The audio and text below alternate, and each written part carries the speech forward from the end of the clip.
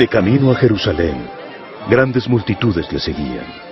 La gente le preguntaba cómo obtener la salvación y que les enseñara más acerca del reino de Dios.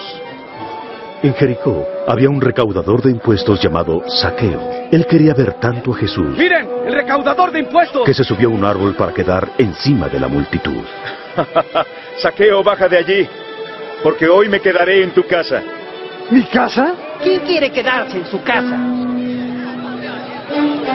¿En la casa de un cobrador de impuestos?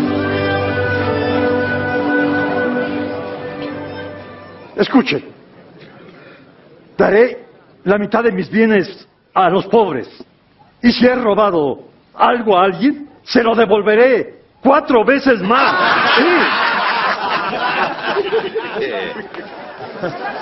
Hoy ha llegado la salvación a esta casa, porque este hombre también es descendiente de Abraham, pues el Hijo del Hombre ha venido a buscar y salvar lo perdido.